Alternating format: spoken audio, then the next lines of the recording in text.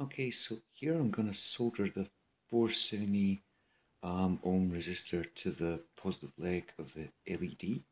And I reckon that'll make the Vactrol easier. So we'll get back when we've uh, done that and on the next bit.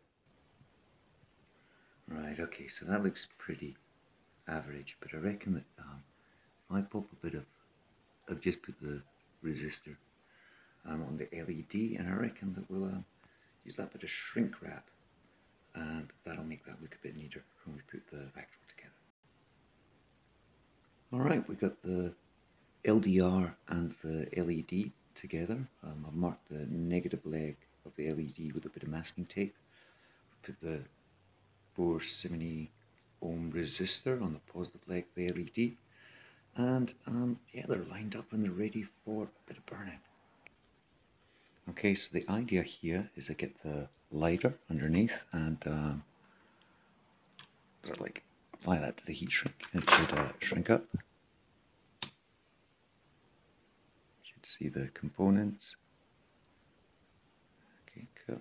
Alright, okay, and then when it's still a bit wet, I get the crimpers and I crimp. Um, make sure we're not getting any light in there. Oh, yeah, and on the camera. Okay, so that looks like we have uh, an LDR. Okay, let's see if it works.